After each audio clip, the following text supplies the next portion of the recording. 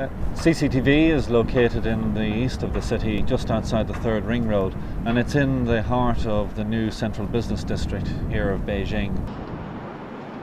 By Beijing standards, it, it is a relatively tall building at 234 metres, but actually it's not the, going to be the tallest building in Beijing, and that was never the exercise. The whole idea of the design is that it challenges the race for height in tall buildings and the monotony of that race, which is unfolding daily here in China and also in the Middle East.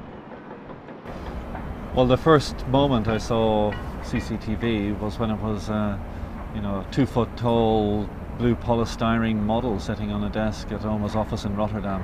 When I walked into the office that day, and met Rem and the rest of the team there in Rotterdam standing beside this bloom foam model and talking about CCTV. It was just incredible to think that we were going to consider this. Of course, at the same time, and in being amazed by the model, I also knew that it was deadly serious. CCTV, unlike a lot of other buildings that we've done over the years with OMA, actually started as really a sculptural piece the form was there from the beginning, and the design team had already established that the client's brief would work and fitted into uh, a building of this shape. We quickly realized that the only way the building uh, structure was going to be uh, achieved was by turning the shape, the form of the building actually into a single structure, into a single tube structure. So actually take advantage of the natural qualities of the shape and make that the structure. We just did a very simple triangular mesh over the entire surface of the building. So all four sides of the tower, but also in the overhang, the roof and soffit were all meshed and the bases as well.